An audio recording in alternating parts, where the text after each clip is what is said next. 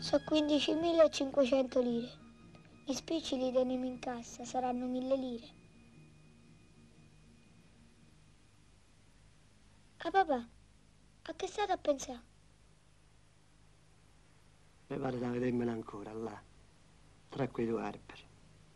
Passeggiai in su e giù. Non l'ho vista mai fermarsi un momento. La prima arrivà e l'ultima andò via. Con freddo certe volte. Se pioveva, c'aveva il suo ombrellino, le sue caloscette. Che puntualità, che precisione. Altro che l'impiegata. E non dava confidenza a nessuno. Eh. Faceva il dovere suo e basta. Per resto, casa e bottega, bottega e casa. Mai in divertimento, mai una distrazione. Ah, tua madre sì, che era una santa donna. Come era bella? Bella, una madonna. A basti di che dove le altre facevano uno, ne faceva tre. La meglio clientela era la sua, professoroni, avvocati, artisti. Una volta un ministro, che non ti faccio il nome, gli regalò 50.000 lire per la sua grande arte. Perché l'arte sua era quella di far credere che era innamorata di tutti. Ma io lo so che mi voleva bene solo a me. Ah papà, non ci state a pensare. Si fa malate voi, io che faccio? Hai ragione, creatura mia. Oh, ormai devo campare solo per te.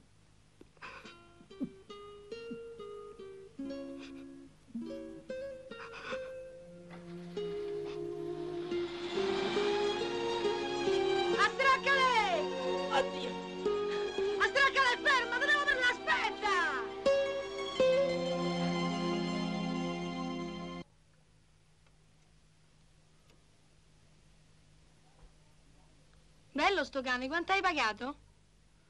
Solo 200 lire al chilo. E che mo i cani si comprano a chili? E come lo vuoi comprare? A chilometri. Va ferite, come se fosse roba da mangiare. E infatti in Cina, paese della civiltà millenaria, se li mangiano. Ma davvero ti vuoi mangiare cane? In mancanza di abbacchio. È proprio vero che voi artisti siete tutti matti. Rosso pomodoro. E adesso stai ferma. Se no ti faccio strabica. Mm? Tu sei nervoso. Scommetto che non c'hai da fumare. E queste che sono? Anna, ma che non ce lo so che sei un drogato fracico. Nandi, ma che ti sta dando di volta il cervello? Oh, ma io mica dico a nessuno. Basta. Mi ha fatto passare l'ispirazione. Ammazza quanto mi vedi brutta. Ma che so così io? No, tu sei pure peggio. Ti ho sublimato con un'interpretazione psichedelica. Mamma mia. E che vuol dire? Non te ne incaricare. Non sono cose per te. Piuttosto pensa a portarmi la pasta meno scotta, se non vuoi costringermi a cambiare trattoria. Eh, mi sa pure a me. Perché ha detto così mio padre che se non gli paghi il conto, questo è l'ultimo pranzo che te manna. Mm. Se solo mi vendo un quadro, mi compro te, tuo padre, la bottega è tutta trastevere. Cafone capitalista che non è altro. Mio gragnoso. Comunque, pigliati una madonna, mi dai 2000 lire di resto e siamo pari. Sì, così mio padre mi ha dato sul groppone. Tanto ce n'è poche le madonne. E allora vai, va, che c'ho da fare.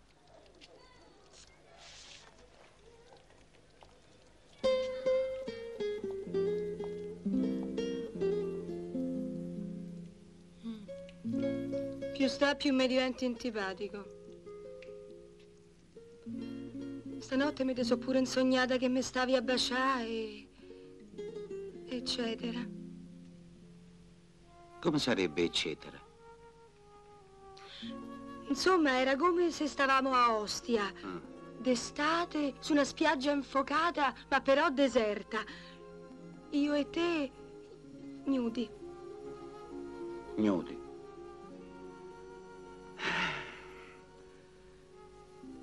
D'estate a Ostia, deserta. Senti com'è inverosimile. Nandi, lascia perdere. Non diamo retta a sogni.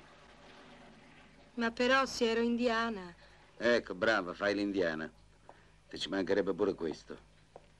E adesso vattene, che mi devo cambiare. Eh già. Io so buona solo a portate le razioni doppie. Che mio padre mi ci ha pure menato.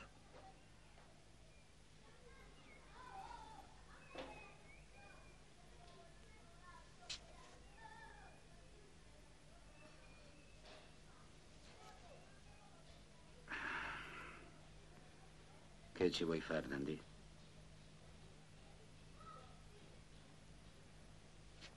Vai, va. Vado, vado.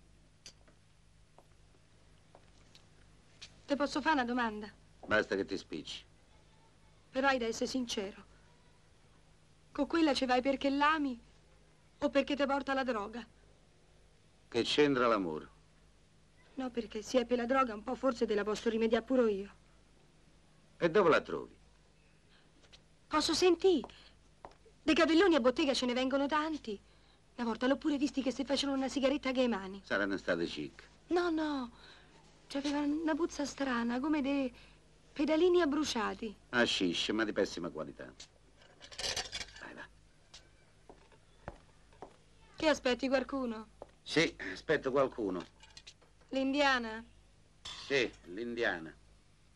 Ma che ci avrà più di me? E c'è che non rompe tanti i cosiddetti. A ridaglie. L'albero bacia la terra, l'onda bacia lo scoglio e io bacio il mio amore. Te scema. Oh, pardon? Ora pro nobis. Eh, sei la figlia di padrone del ristorante, ma va via subito. Ciao, Nandi. Grazie, eh. Elle est jolie. Sì. Parlez-vous français?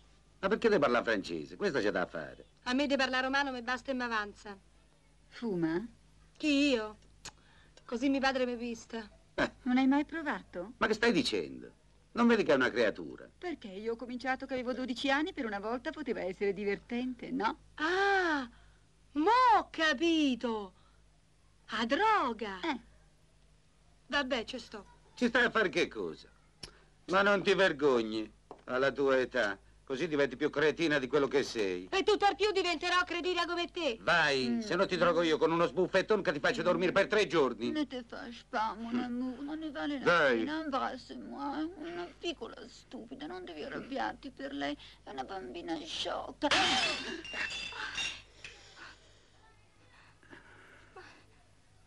Ma che ti sei impazzita?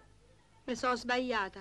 Eh, ma quella lì è proprio male. Cammina, va. Domani che ti porto? Asciutto un brodo? Non mi portare più niente, non mangio più. Eh, il conto quando me lo paghi? Di a tuo padre che mi manda la fattura, è per posta. No, qui bisogna che paghi Ma il conto, se no io da qua non villana me maleducata. Ma venevo da te a imparare l'educazione, sta zoccola. E smettila. Non ti incontro, ti faccio diventare negra, altro che Te indiana. ne vuoi andare o no?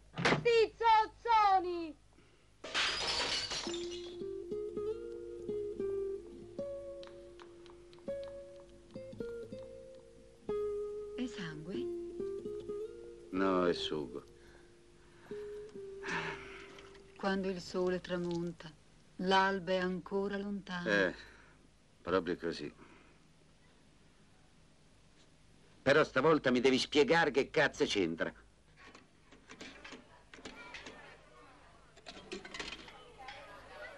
Pronto? Se vi interessa, al vicolo del mattonato 112, uno scantinato. Ci stanno due che si stanno a Però lui non c'entra. Non gli fate niente. Perché io... Io voglio bene. Do you speak English? Êtes-vous français? Habla espagnol? Ma di dove essere? Da qua. Del Trastevere. Ah, da qua. Hola, ¿qué tal? How are you? Fine, thank you. Ace, io non capisco perché per sentirsi liberi bisogna vestirsi da imbecilli come questi qui. Per poter dimostrare quello che siamo. E il fatto è che mia moglie sta a fare pratiche per farmi rinchiudere al manicomio. Stiamo sempre lì, colpa tua che subischi. E perché tu no? Io contesto. E contestare. Vorrà dire che al manicomio ci andremo insieme. Eh, Scusi? Scusi, lei contesta? Beh, sì, nel mio piccolo. Permette? Enrico Formichi, artista lirico e drammatico. Contesto anch'io, posso? Come vedete mi sto facendo crescere la barba perché deve essere chiaro che contesto anch'io.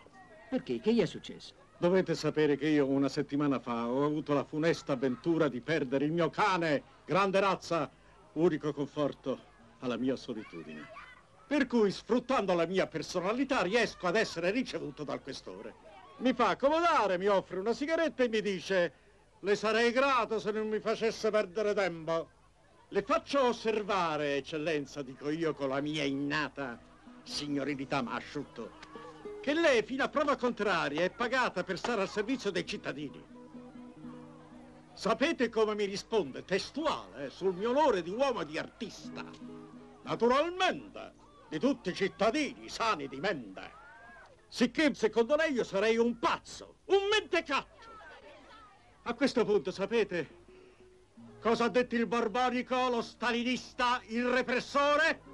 O chiamo la neura o lo faccio arrestare, scelga lei. Sono salvo per miracolo, ma da quel momento sono entrato a far parte della resistenza. Consideratevi uno dei vostri, pronto ad impegnarmi unitariamente a qualunque livello. Bombe Molotov, barricate, rivoluzione!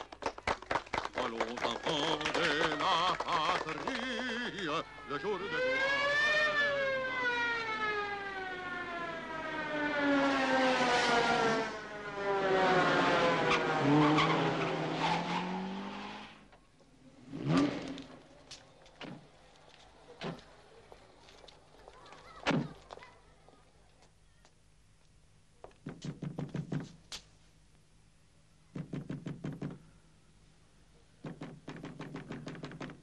Chi è?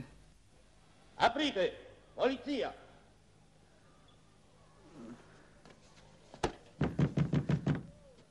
Momento, sto al cesso. Aprite o sfondiamo la porta!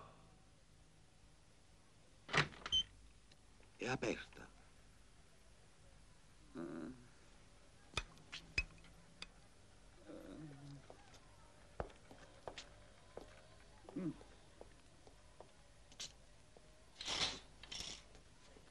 Ah, la forza pubblica.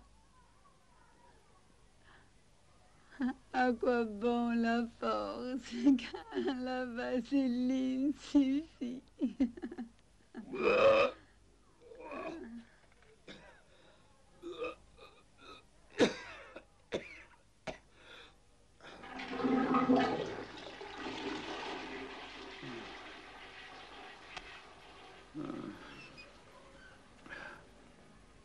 Ma tu chi sei? Vice brigadiere Mazzullo Carmelo, sezione antidroga. Agli ordini. Brigadiere, ma... Ma tu sei drogato.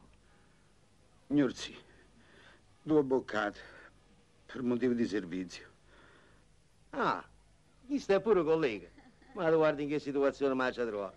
Fate rivestire quella svergognata. Su,